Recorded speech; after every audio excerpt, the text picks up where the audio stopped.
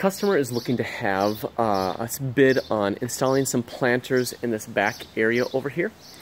Um, we are going to bid on, um, gonna, she's actually going to send me a plan um, of what he got from someone else. And uh, um, we'll get the dimensions off of that. But uh, the one change from it is that the walls that they have uh, on the plan as 24 inches tall, we're going to make 18 inches tall and the back planter box that's uh, scheduled to be 36 inches tall on their plan, we're actually going to make 30 inches tall.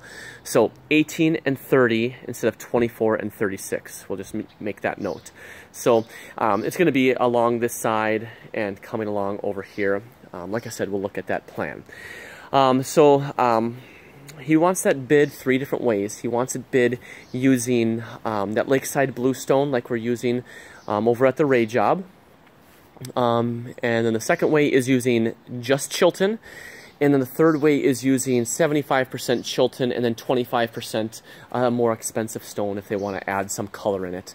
Um, I met with just him. She's not here right now, so um, he doesn't know right offhand all the, the color stuff. So, All right, so the second part of this bid is uh, for this uh, bluestone patio that he laid himself. The stone is actually in very good shape.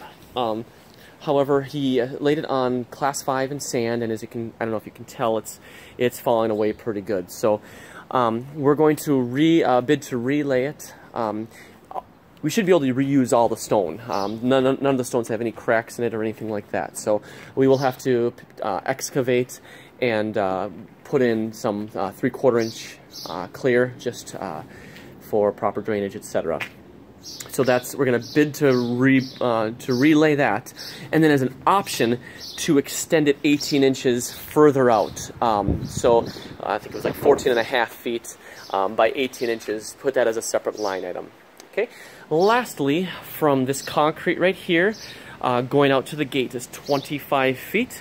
Um, we're going to bid to put in a 25 foot long by 4 foot wide uh, bluestone walkway from point A to point B.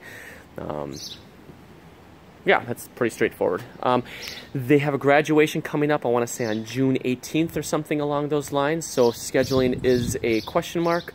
Um, and because there's no, uh, we have a, uh, the gate isn't big enough and he doesn't want his grass destroyed by the skid, this will be a manual job.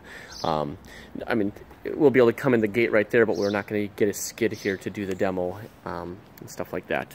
There is storage, a uh, place to, to drop pallets right outside the gate, so it's not that far of a walk, but it's still manual.